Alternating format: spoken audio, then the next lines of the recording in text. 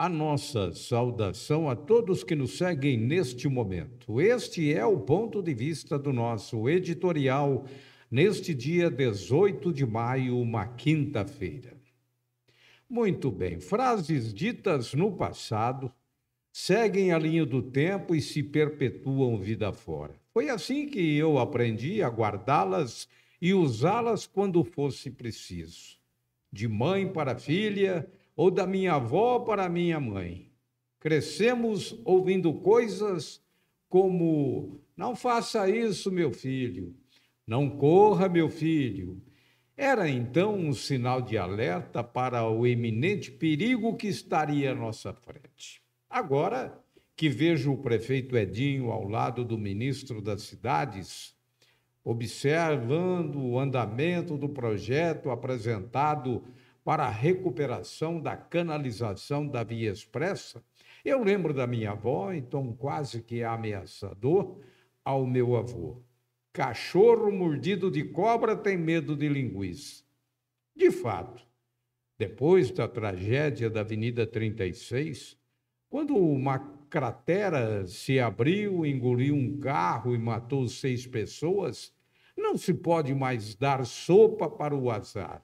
Quer dizer, vacilar como aconteceu em 28 de dezembro, quando a cidade, a cidade foi manchete por todo o país por conta das seis mortes de uma mesma família.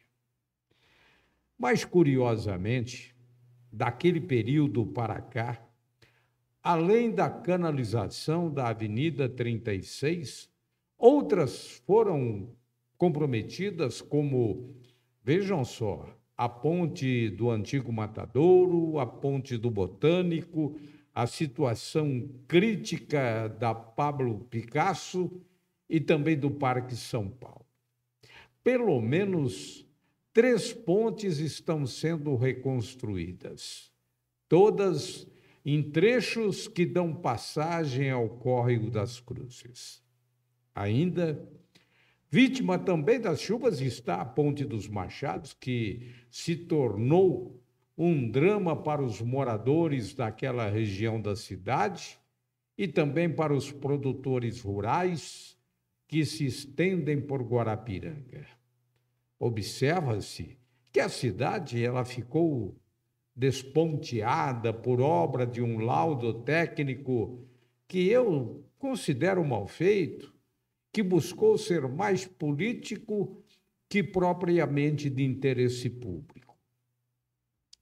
E ao ver agora o prefeito pedindo socorro ao ministro das cidades, eu logo imagino a sua enorme preocupação em correr para resolver os problemas da nossa via expressa.